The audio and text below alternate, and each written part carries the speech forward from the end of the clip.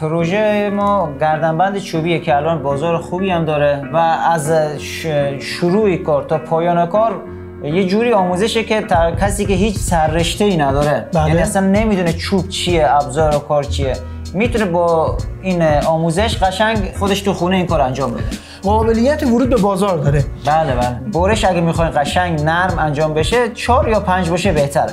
ابزار ساخت گردنبند چوبی همین مقداره. ب- چه نوعی بهترین چوب واسه گردنبند چوبی؟ هر گردنبند مثلا شما حساب این چوب اگه سی هزار تومن قیمتش باشه هر گردنبندی پنج هزار تومن براتون مصرف آره، چوب داره. به این تاریخی که حداقل الان ما داریم دوره رو می‌سازیم. روی تر با مداد یا خودکار می‌کشیم تر انتقال پیدا می‌کنه به چوب. روی 30 درجه و 60 درجه علامت می‌زنیم به خاطر اینکه این اه، 90 درجه ما بیایم به سه قسمت تقسیم تقسیم کنیم.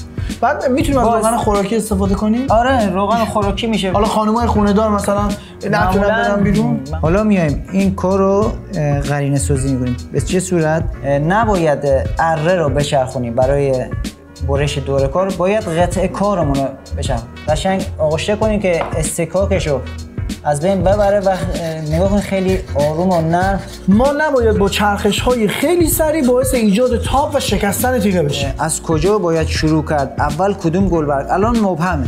انحنای مغار بخوره به این گلبرگ وسط. دستتون رو تکون میدین لازم به نیروی زیادی نیست.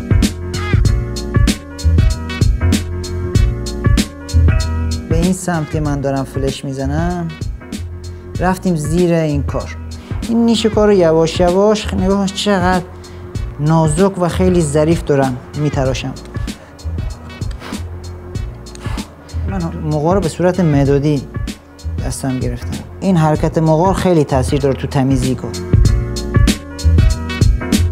دنبادری نگیرین روش. یه دست یه تیکه بزنیم